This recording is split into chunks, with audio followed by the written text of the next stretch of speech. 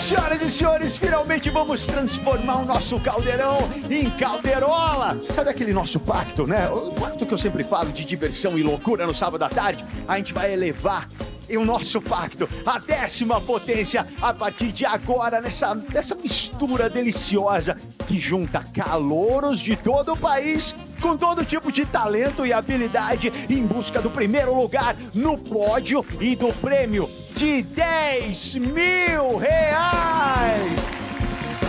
Vocês vão ver números incríveis, vão conhecer gente talentosa, feliz, disposta a fazer de tudo para dar um show e convencer o nosso time de jurados. E que jurados? Para começar, ela.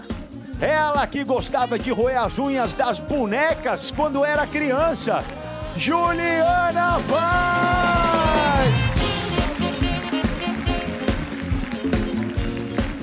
Seu lado, ela, ela que dorme todas as noites acompanhada do Aquiles e da Naomi, Nani Pipo!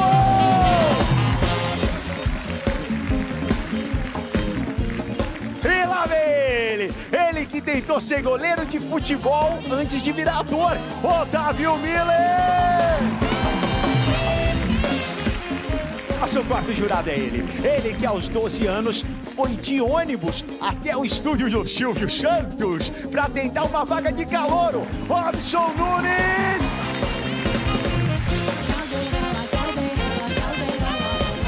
Calderola, calderola, calderola, ia, ia. Calderola, calderola, calderola.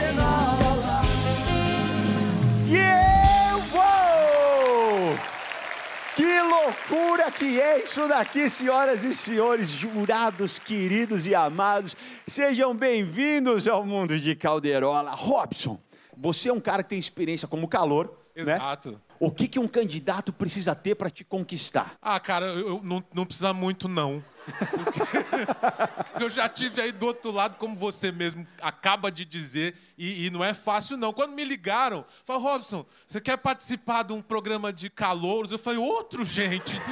Não, mas como jurado, eu falei, opa, o patrão agora, né? Tá mano? patrão demais. Agora me diz, o que, que a gente pode esperar de Otávio Miller como jurado? Eu não faço a menor ideia.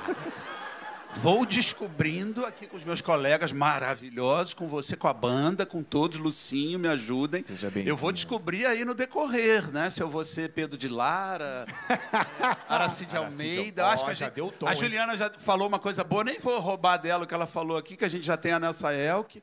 É... Juliana Paz, senhoras e senhores!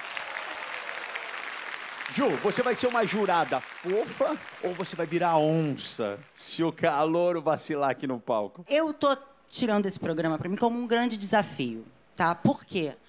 Eu não quero mais ser fofa. Eu Oh. sempre fico nesse papel de jurada aqui. Ah.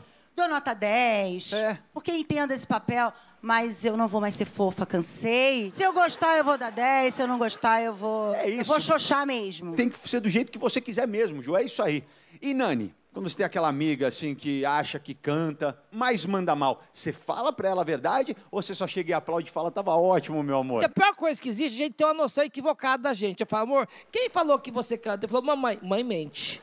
Mãe mente muito, mãe se equivoca. Quando eu nasci, deram uma mentira pra ela que ela não acreditou. Achando uma bênção estar nesse calderola, que é isso que precisava nas tardes de sábado. Um programa desse, que as pessoas possam mostrar os seus talentos, suas habilidades. É isso.